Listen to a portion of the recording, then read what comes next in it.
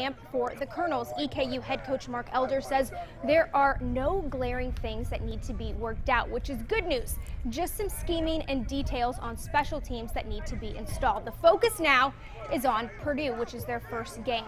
But it's difficult to prepare for them because the Boilermakers have two new coordinators this season, and I know what you all want to hear. Who is going to be the starting quarterback this season? Elder, he doesn't have one in place just yet.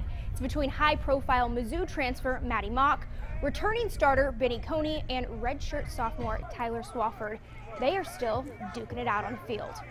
Uh, yeah, competition is lovely, man. Competition is everywhere. We got competition at offensive line, uh, the wide receivers, but particularly quarterback, well, it's going pretty smooth. Uh, Maty Mauk, he's pushing me. Uh, I'm pushing him. Tyler Swafford, he's pushing all of us. Uh, it's going good.